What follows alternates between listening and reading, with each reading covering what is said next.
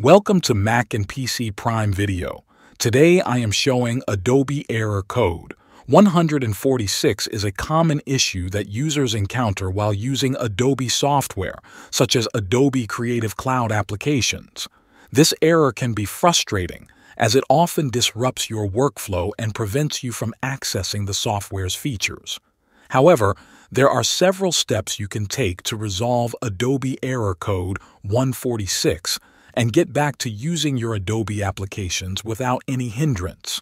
In this tutorial, we will walk you through a comprehensive set of solutions to help you fix this error and resume your work seamlessly. 1.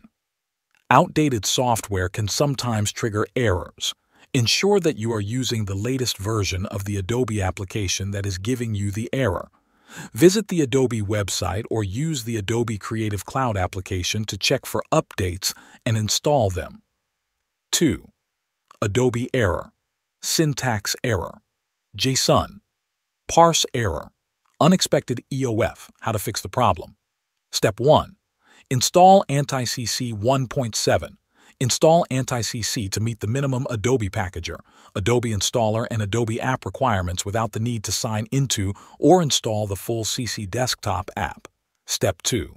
Install CC Runtime 2023.1 OK. Next installation offline Adobe Illustrator Run on Mac.